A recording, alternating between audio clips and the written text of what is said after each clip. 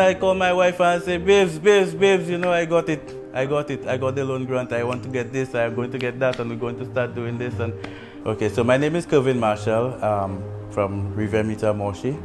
Um, and I've established a small business, KGM Custom Gifts, Crafts, and Events. Uh, my three daughters. Um, and um, what I noticed year after year, there was always this um, need to complete a project, sometimes more than one project within a month. And the projects are always something that you had to do physically with your hand.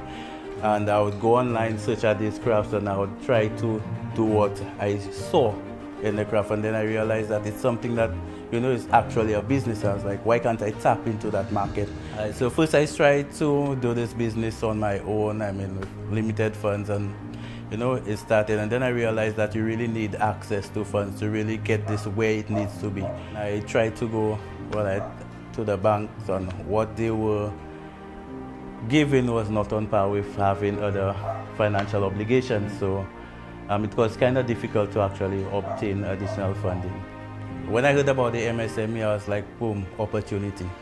I could make something actually happen, you know. I could make this dream actually reality. So let's go for it. I got a new heat press, new printers, I got new paraphernalias, I got stock so I could have stock on hand instead of actually going out and trying to purchase on demand. So I tried to get everything needed so I could start business as soon as it kicks in. I think that's the greatest opportunity someone who's starting out, especially for the startups, can hope for.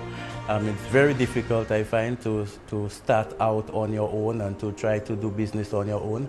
Um, with the loan grant, the opportunity that came with getting the equipment and getting to um, jump off on the bat. Um, I always try to show the children that you could, you know, aspire to be anything you want to be.